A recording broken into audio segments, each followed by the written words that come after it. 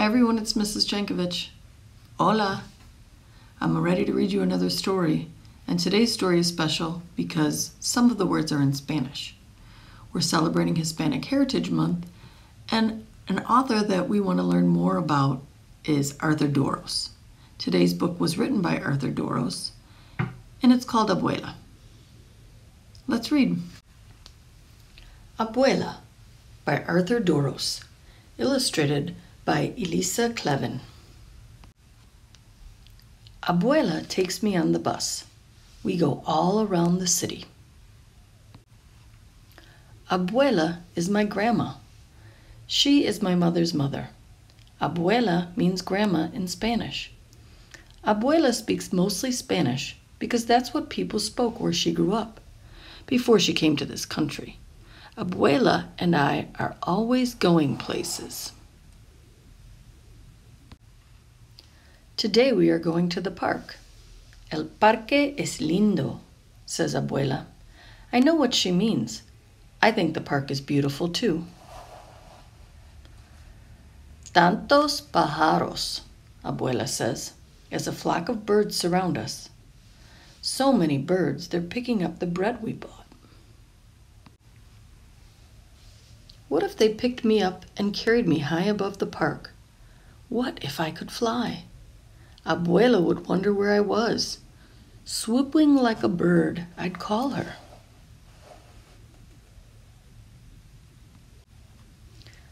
Then she'd see me flying. Rosalba the bird. Rosalba el pájaro, she'd say. Ven, abuela. Come, abuela, I'd say. Si quiero volar, abuela would reply as she leaped into the sky with her skirt flapping in the wind. We would fly all over the city. Mira, Abuela would say, pointing. And I'd look as we soared over parks and streets, dogs and people. We'd wave to the people waiting for the bus. Buenos dias, we'd say. Buenos dias, Good morning, they'd call up to us. We'd fly over factories and trains and glide close to the sea. Cerca del mar, we'd say. We'd almost touch the tops of waves. Abuela's skirt would be a sail. She could race with the sailboats. I'll bet she'd win. We'd fly to where the ships are docked and watch people unload fruits from the land where Abuela grew up. Mangoes, bananas, papayas, those are all Spanish words. So are rodeo, patio, and burro. Maybe we'd see a cousin of Abuela's hooking boxes of fruit to a crane. We saw her cousin Daniel once unloading and loading the ships. Out past the boats in the harbor, we'd see the Statue of Liberty. Me gusta, Abuela would say. Abuela really likes her. I do too. We would circle around Liberty's head and wave to the people visiting her. That would remind Abuela of when she first came to this country.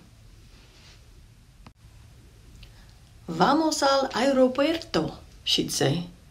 She'd take me to the airport where the plane that first brought her landed. Cuidado, Abuela would tell me.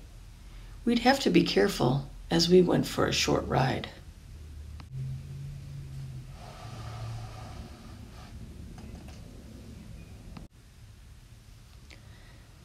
Then we could fly to Tio Pablo's and Tia Lisa's store.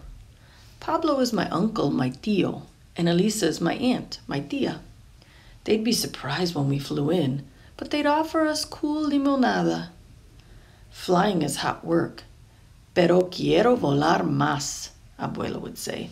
She wants to fly more. I want to fly more too. We could fly to Las Nubes, the clouds. One looks like a cat, un gato. One looks like a bear, un oso. One looks like a chair, una silla. Descansemos un momento, Abuela would say. She wants to rest a moment. We would rest in our chair, and Abuela would hold me in her arms and the whole sky our house, nuestra casa. We'd be as high as airplanes, balloons, and birds, and higher than the tall buildings downtown. But we'd fly there too and look around. We could find the building where my father works. Hola, Papa, I'd say as I waved, and Abuela would do a flip for fun as we passed by the windows. Mira, I hear Abuela say. Look, she's telling me. I do look, and we are back in the park. We are walking by the lake. Abuela probably wants to go for a boat ride. Vamos a otro aventura, she says. She wants to go for another adventure. That's just one of the things I love about Abuela. She likes adventures.